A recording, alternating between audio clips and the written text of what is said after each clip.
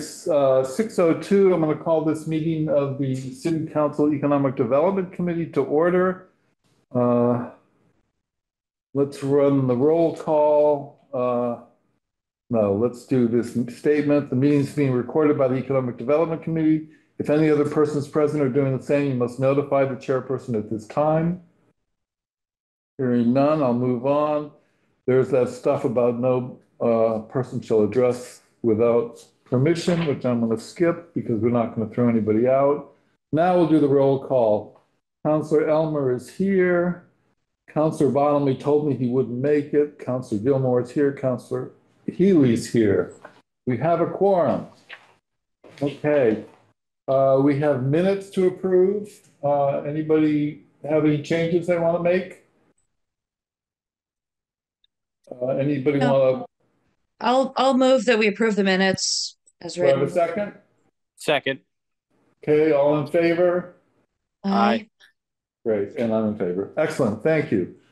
No public hearing, um, two motions that we, uh, are, are supposed to act on tonight. Uh, the sale of the city-owned land at one eighty-eight Main Street and then acceptance of the easement. Uh, there's a memo apparently. The, the one eighty-eight, there's some, apparently, uh, uh, um, on the sale of that property. We have a hand raised up by Amy. Okay, Amy, can you explain what's going on? I sure can. I thought I'd um, help out.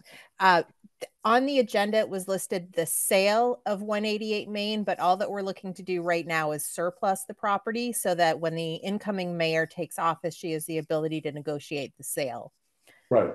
And I can, do you two- want some context for the plan? If, if you'd like, I, uh, 30 second one, 188 Main is a tiny um, parcel that's not really able to be developed into a separate building or a retail space. The owner of the adjacent space is Tim Grader. He's currently working on some second floor um, mixed income housing. And the property at 188 Main um, is situated such that it would allow him to install stairs and an elevator and make that second floor um, housing accessible it's too early in the process right now to be negotiating the sale, but we just want to have things lined up and let him know so that as he proceeds, um, he can plan appropriately. right. This is the property that was, um, a nail salon. It sits over the railroad. Yes, it was a building that, if you recall, was falling into the railroad for Right. a the period of time. And it- was So city knocked it down and put up a piece of plywood exactly. and that's where it stands now. And he, he Yes. can, he can use it. He can use it, yes, and it would it would go towards making some housing downtown accessible. Right. And this is a two-step process. First, the city council has to give you, uh, permission to declare it, uh, what's the To word? surplus it, Surplus. surplus. And then, and then there would be a sale. Yes. Okay, But my uh, understanding is that the two motions need to travel together, which is why the, the motion for sale is floating together with the surplus. But all So that we're we're, looking we're supposed to, uh, deliberate on that as well, both, both the surplus. all we're and- looking for is approval of the surplus, Okay, not the motion to sell. all right. Any discussion, Sheila or Derek? I have a question. So once we surplus the property, I mean, really anybody could buy it, right? Um, once you surplus the property, oh, I'm sorry. Did you want me to answer? Go ahead, Amy, explain. Once you surplus the property, it would be um, essentially in the control of the mayor's office.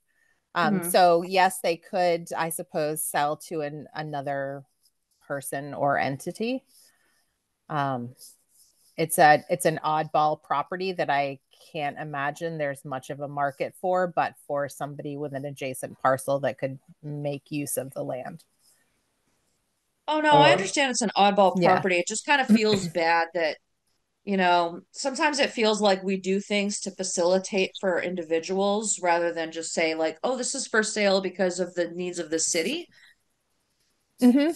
So I kind of I, I feel like sometimes we put the cart before the horse when we do it that way, and it feels very um I don't want to say engineered. It just it it feels like this should go up for anyone who might have an idea for what, I mean, obviously, I'm looking at it and this is not someplace where you're gonna build your dream house. I get that. I just want to make sure that I understand the process. Sure. Yeah, I, Sheila, you're right, that, uh, we're just, uh, uh, we're, we're considering the surplusing of it. Who it goes to, uh, is a matter of the market. Who- Whoever wants to buy it, right, Amy? That's my understanding that this would then allow the mayor to negotiate with a prospective interested party. Derek, you have your hand up. Yeah, so I I do business in a lot of other towns and cities, um, and in situations like this, I, I'm kind of confused why it wouldn't go out for an RFP. Um, I thought it was state law that you had to put it out for an RFP for potential bidders. So you can't just sell it to a private indi- individual. You list an RFP. If they're the only bidder, great, that's great. But it should be going out for like an RFP package, from my understanding. Amy, Thank wanna- you. Yes, that's, I think that's the process I was asking about. Thank you, Derek. Because I'm, I'm there's a barn in Deerfield I've been trying to buy, um, and they, they their town lawyer won't sell it to me without putting it out to RFP, and I've offered to build the town a new garage, um, but they they won't even do do it without an RFP, and I won't build them a garage not knowing that I'm not getting the property. You know, Amy, uh, is that right, that, that we would put out an RFP? Generally speaking, that's right. I don't know if there's particulars to this property that would that would create a different scenario, but again, I think what we're looking for tonight is the surplusing to enable the mayor's office to design an RFP to decide if that's the right process to take whatever the next steps are that the city solicitor decides. and I could agree I- with that total. Yep. Yeah, so, so, um, uh, pro- provisionally, we could, uh, give us a positive recommendation with a note that we would expect that an RFP would follow. How does that sound? I would be comfortable with that. I, Derek? I would I would be comfortable with that as well. Right, uh, want to make a motion? So Yeah. I move that we mark this as, or declare this as surplus property with the understanding that there will be an RFP and an open and transparent process that anyone can participate in. All right, Second, Uh, any, any further discussion? Uh, all in favor? Aye.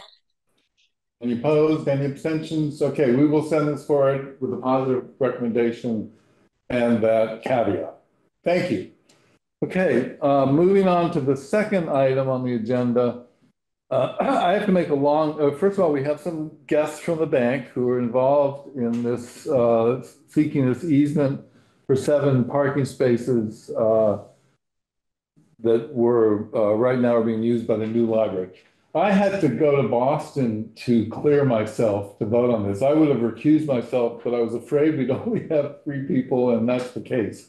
So here's the situation. My wife, Margot Jones, was hired by her former firm, Jones Whitsett Architecture, to do, um, uh, what's the, what's the word? The bank was interested in buying the old library.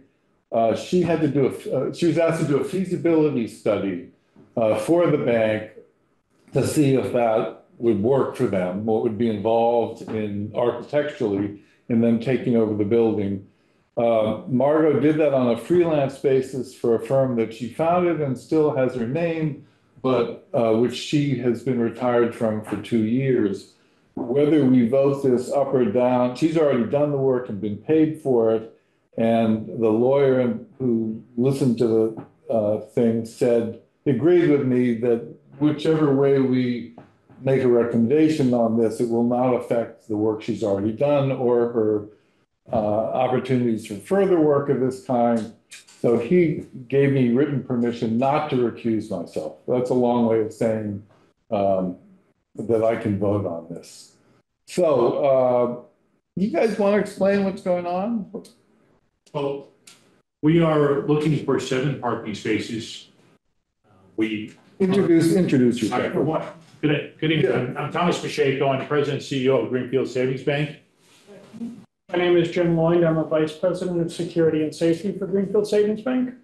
And as we're uh, making the acquisition of the library or the Leavitt Hovey House, uh, we felt that it- we needed some parking because we're gonna be adding probably thirty people in that facility that, and probably twelve of them do not currently work in Greenfield.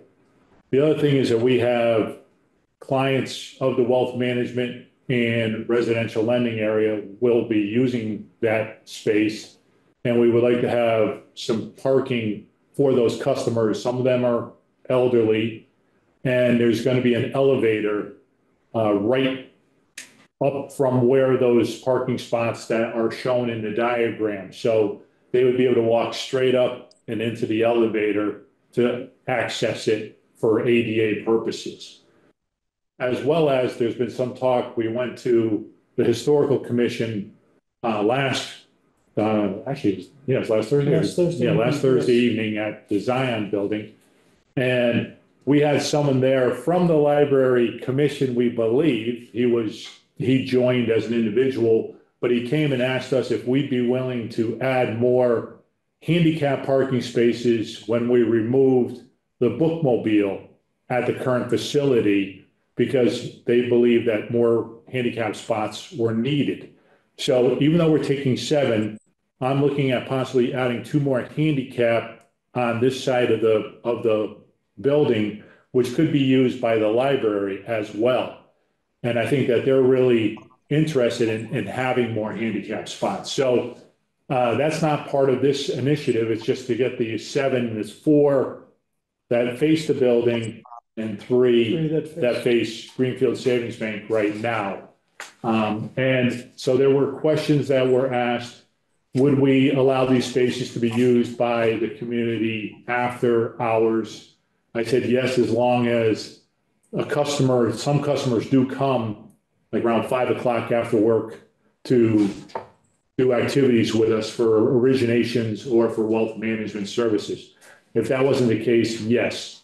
So we are open to allowing those spaces to be used by the town, non-banking hours, just like everyone uses our current parking lot for downtown parking after hours currently. So I just thought I would, we would come and support. We didn't want anyone to ask if anyone had a question that no one was here to represent us. Was there anything else you thought we should add? No, I believe that covers it. Okay, Sheila and Derek. Um, yeah, Derek, you've got your hand up. Yeah, I, I- I have a few questions, and and some might go back to Andy Torog, and some might uh, go to the Greenfield Savings Bank folks. But um, typically, when you build a new building, there's there's parking requirements set forth by the zoning ordinance, and I want to make sure the city of Greenfield's protecting themselves, and that you know them themselves are not have to gonna have to grant themselves a variance uh, if we eliminate these parking from the library. So, did anybody check to make sure we had surplus parking to give away for the library based on, you know, our zoning ordinance? I believe the, your attorney did. Okay. Our, our attorney, David Bloomberg, has been dealing with Greg Schmidt the town. Okay. And And then, they, there's, there's significant parking there. And that lot is not, is not just a library lot. I was informed that it's also, uh, I was talking to, well, I don't, another person in the, in the city. And they said that that is a municipal parking lot, not just a library parking lot. Now, I'm not a thousand percent sure that that is true, but that is what I was informed. no, I think that for me, it's it's really just crossing our eyes and dotting our T's Yes. so this doesn't come back, right? So, uh, you're a great business in town. We appreciate everything you do for the community. It's it's it's a no brainer to me, but I'm I'm a man of business myself, and I just want to make sure that we don't have to go back again and look at this again because we missed something. So it sounds like that issue has been addressed, and then the other issue is, um, you know, maintenance and and all those things. So we're granting an easement, and I didn't read through was was there language attached to this? I, I've been out with COVID, so I'm just kind of getting back on my feet. Was there any easement language attached with that agreement? I saw the drawing, but I don't know that I saw a physical document. Well, it's, it's all part of the same lot, so it would be very difficult for the town not to plow these spots. Now, on the other hand, we do shovel the walkways currently that go from Greenfield to the library. So we would continue to allow people to have access on the walkways. We will maintain all the walkways which people park and walk from our building to the new library. Um, you know, I, I don't know how you can park, how you can plow that parking lot and not plow our seven spaces, to be I honest have- with you. I have no problem plowing the, those seven spaces, but it, in 10 years down the road, when we all go back and look at this, if it's not in writing somewhere on who's maintaining this, it opens up the question and we end up having to repave a lot or do something like we've, I don't, Sheila's probably familiar what previously happened at another parking lot, right? So I just want to make sure that this agreement is, is very specific on who's doing what and what's supposed to be done, you know? That's, that's my only concern. Right, my, my understanding is the, um, our attorney and the city's attorney, uh, have discussed that and there is language, uh, to that. Okay. It's not in this, uh, this single sheet of paper, but they do say that, uh, there was a long negotiation between the city's lawyers and the bank's lawyers. Um, and it sounds like something was hashed out that they're, both sides are happy with. Yeah. Yeah, I, Um, I would like to, I would like to table this until I see that agreement. That's just my opinion. You want to table it? Until I see the agreement, I want to see the language. Okay, this will move it over to next year. The, um, Yeah. Well, if they would have put the language in, Councilor Elmer, I, I wouldn't be doing this, right? all right, No one informed No, I us think that, that's that you wanted this language. No, he, he also makes a really good point. I mean, one of the big things that we hear about from constituents is the lack of parking in downtown. Yeah. And I know that, in my opinion, the parking lot for the new library seemed big for, for the footprint of the building. But for, you know, whatever reason, we, ha- we needed to have that number of parking spaces. So I would like to do a little more homework on this too, because I know we were talking about you know, if you did anything but change the paint colors in the new library, it was going to jeopardize the grant. So I want to make sure that nothing we do is going to cause problems there. Um, but also like having that stuff well documented is really important. I think that everybody, you know, in this room means well and is going to try and do the best thing for, you know, the public, for the property, for, you know, all of our neighbors. But like Derek says, in 10 years, we don't know you know who's going to be on city council? We don't know who's going to be you know working in these buildings. And if we get into it with you know who's supposed to be plowing and maintaining i mean we did just go through that and it it was really tedious. In the RFP that I presented to make this acquisition of this building, I did attach, there were multiple articles talking about how there really is no shortage of parking in downtown Greenfield and that, but, you know, that's fine. You know, I, I just wanted to state that that is one of the things that I did put in the RFP is that right uh, Yeah, there and I are a that- lot of, there are a lot of parking lots, there are parking garage. And, you know, I agree with you, it should be reviewed. I just was under the impression that everything that you were going to review today, someone had reviewed and, and made sure all the documentation was here you needed. If that's not the case, we will work to get that documentation for you and we can wait. I was just hoping that we could start the process because there's more processes to go through before we can start doing anything on this building then actually, this is the last step to close on the purchase. And it's, it's similar to what we went to the historical. Do you ask for historical approval before you buy the building or after you buy it? Well, if you don't have historical approval, maybe you don't want to buy the building. But, oh no i you know, completely yeah i completely understand but you know from our perspective you know when we're talking to constituents i mean of course everyone cares about facts but if the perception is that there's not enough parking I mean, you can show people graphs, you can show them like a list of all the parking places. I mean, there's only so much that you can do when, you know, people hold a certain perception. So that gets to be challenging too. Um, yeah. but yeah, I mean, I as long as we go through a good, transparent process, you know, where everybody feels like, you know, they all know what's going on. We get a chance to look at the the documents that the lawyers were hashing out, hashing it out over. I don't, I don't see a big problem. I don't see a big controversy, but I just want to make sure that we're, you know, dotting our i's and crossing our t's, like Derek was saying. Well, the, the, um, the, the state of city parking really isn't on the agenda to- today. We, we've had a whole parking study, uh, and that's, that's not really what we have to deal with. Uh, I, my understanding is that, the that, that you guys won't buy the bank, the old bank, until. The old library, sorry. You won't buy the old library until the city council approves this parking Well, space it, deal. it, it also, it's the whole with the, um, well, what, it- it's not just the parking, but also the, uh, variance or, You need a variance. Yes. Yes, and, and, uh, and you know, I. you can't buy the building until you have the variance. Correct. Okay. That's what we're told. I mean, if, you know, I'll go back. I mean, I- Well, you know, I don't, I- we don't have to build the, the additional handicap spots. You know, I, I mean, we were doing that as a favor for this. And, you know, I, that, that's nowhere in the plan that we're gonna, we're gonna add to handicap parking. right, that's, that- and that's also not on our, Correct. our table Correct. today. No, That's what I- I'm saying, that's, when I say something, I, I, I, my, my word is what I say, and, uh, that's what we had talked about the other night, but that's fine. If, if we have to get the information, I will talk to our attorney tomorrow. We'll make sure we get, you know, so can we just make sure we know what we are requesting? We're asking for something that talks about the maintenance of the parking lot and what is the other item? No, no, all- there should be a legal document attached to the easement drawing Right. describing There- meets and bounds of the easement, what's, what's being handled by. And I'm, po- that was, that was definitely done and it was definitely shared uh, two days ago. And that's why I thought that it would have been here. Um, but I Oh, guess, yes.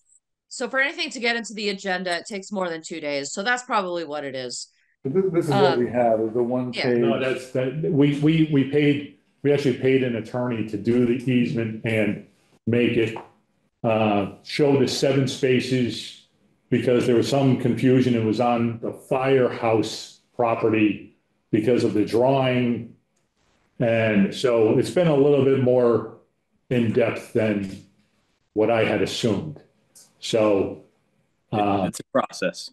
it is a process. So, so here's the situation. Um, this is our last EDC meeting before the, the city council meeting on Wednesday. We've been asked to make a recommendation, yay or nay or mixed, uh, before that meeting. Derek, my understanding is you want to table this for this committee until, uh, next month, at which point, uh, we would have more documentation. I, I don't see a way to get the documentation to us before Wednesday. Okay, let's, We'll have a let's, let's do it this way, Councilor Elmer, if this is legal. Um, instead of tabling it, I'm, I'm gonna not, I'm gonna not vote towards this today. I'm gonna, so we're not gonna have a recommendation coming out of council.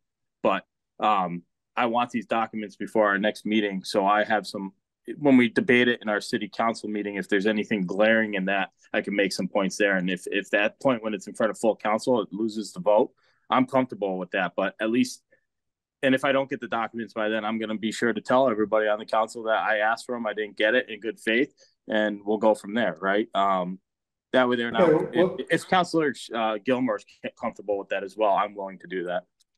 No, I agree. I think it would be, you know, uh, well, I think I'm probably eventually going to be a yes on this because I don't see anything unreasonable here. It is our responsibility to check these things with a fine tooth comb. And, you know, it takes longer than two doc, uh, two days for documents to get into, you know, our agendas because government just moves slow. You know, we're not as nimble as private business. And, you know, that can be a good thing in some cases, and sometimes it's a bad thing. But it is what it is. And, you know, we just have to do our due diligence. But I imagine that we have time to get this into the packet for our full council meeting next week. And if that's the case, then I'm happy and comfortable to vote uh at full council, which is where it really matters. I mean, it doesn't Right, matter what so- the recommend I don't want to say it doesn't matter, but the recommendation coming from this committee doesn't bind the city council in any way. So Right. So you- what, uh, they're gonna ask us what the recommendation of the committee is. Uh, what should I tell them? That we didn't have enough information at the time to make a recommendation and we asked for this information and if we received it, it's in the packet, right? Okay. We will have, I, Mr. Bloomberg will talk to Mr. Schmidt, who should have that document. And if not, I will walk it over to the town Okay. hall tomorrow or email to you. I don't know what you are looking for, uh, for delivery. I, I would give it to the city clerk and have her, Okay, um, Yeah. she could, she Tell her can, it's for the- tell her for the EDC. I will. Okay. All right, so we're gonna let this one slide, uh, and we'll, um, we'll explain it to the full council. Now, I had told you guys that, uh, we had a very short agenda today because, uh, my understanding was that the rest, you guys are free. Okay, Okay, thank you very thank you much. for your time. thank you. Uh, Very nice meeting you. Take care. Thanks for coming by. Uh, I was told that the rest of the, uh, agenda was gonna be dropped, but then the city clerk put it back in, uh, as something to discuss. Uh, and this is multiple pages. So this, I'm not gonna be here at the next, uh, EDC. Um, uh, let me see if I can explain this better. The planning board has not moved on any of these planning board suggestions. They didn't get a chance to deliberate, they didn't have a quorum, as Sheila knows. Um, so they're not gonna take this up until December seventh. Uh, and, uh, it was the chairs, uh, at the chairs meeting, uh, what the president said is he didn't want us deliberating on these until we knew what the planning board had done. So, uh, these things are here as discussions. And, uh, if you want to discuss them, we can. If you want to just punt and wait till next year, we can also do that. I'm glad that you clarified. Yeah, I was I was kind of wondering, you know, the whole point of a discussion is like, you know, the body gets together, we discuss it, we have a chance to sleep on it, mull it over, do some homework, and then usually the following month, or maybe even a month after that, we would vote on it. So it did seem sort of strange to have it in a December meeting when we have so many people leaving city council. And, you know, Derek and I don't know if we're gonna be on EDC next year or Right. not. I, Right. we, I mean, they shake them up, so. Did you, did you have any thoughts you want to share on any of these before we drop them? Or, or, um, we can go through them one by one if you Well, want. I I kind of want to see what the planning board recommends because I feel like if we discuss it as it stands now and then the planning board makes a change, then it would just have to start the whole thing all, you Right. know, Right. because I we're think it's still it's still a moving target. I think the city clerk's thought was because we three had been at the, at the public, uh, hearing, that, uh, we might want to share our thoughts from the public hearing. Uh, I think the, the, what I remember from it is that, that roosters are an issue. Um, again, I don't, you know, it's, it's hard to deliberate unless we know what we're gonna be facing. I'll tell you, I've had a lot of phone calls about roosters, and one time I was actually in the car with my in-laws, and uh, you know, they kind of looked at me weird. I was like, I never thought being in city council was going to be so uh rooster heavy. Yeah, yeah, people the- complain? That was a problem for me just because I feel like, you know, the right to farm and the right to have your own backyard, you you know, what people do on their personal property is their own opinion, but that's just the conservative in me, right? So it's it's it's it's tough for me to tell people they can't do something on their property, especially in in the rural parts of the community, you know. Um and and it seems like it's spread across the whole city in all the residential zoning districts even though you have rural residential which i have farms right by me that have cows that moo all day and i live right next to them right but you, you're going to tell me i can't have a rooster Well, the, So- the, the, um, the city does have ordinances, uh, and when, when the city passes an ordinance, it's supposed to mean something.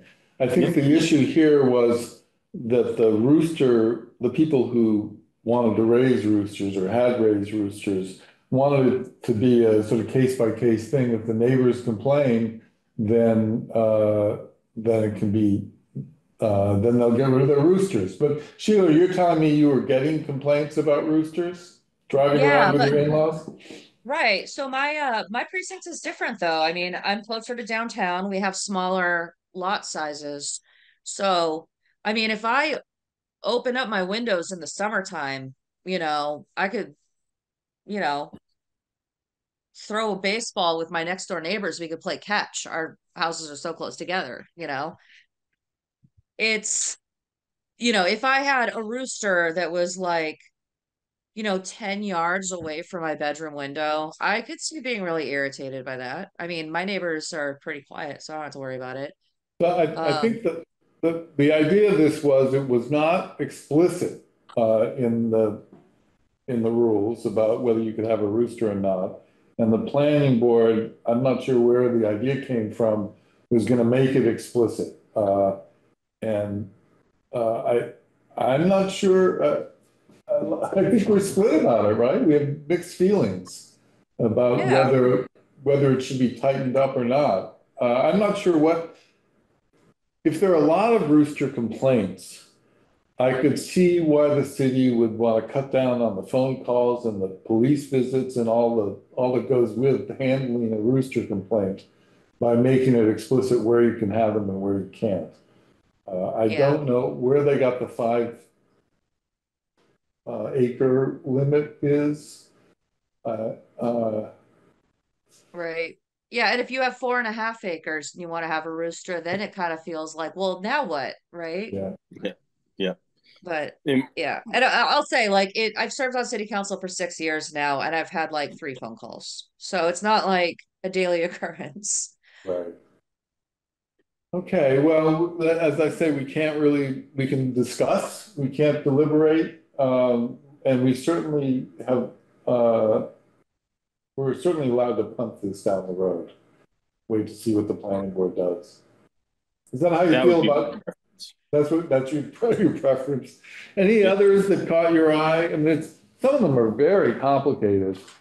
Uh, the, the marijuana expansion turns out to be just for delivery people. It's a business that they want, uh, that the state wants us to make available to, uh, people who've been affected by drug laws. Uh, I didn't have a problem with that. Uh, I, uh, the, anyway, anything else you want to discuss from all that, all those things, or would you just like to, would we like to, um, adjourn? I'd be willing to make a motion to adjourn. I would- Second. I would, uh, let's, any discussion on that? I'm for, let's vote. Well, I mean, I I would refer. All in okay. favor of adjourning, say aye. I Aye. Okay, we're done.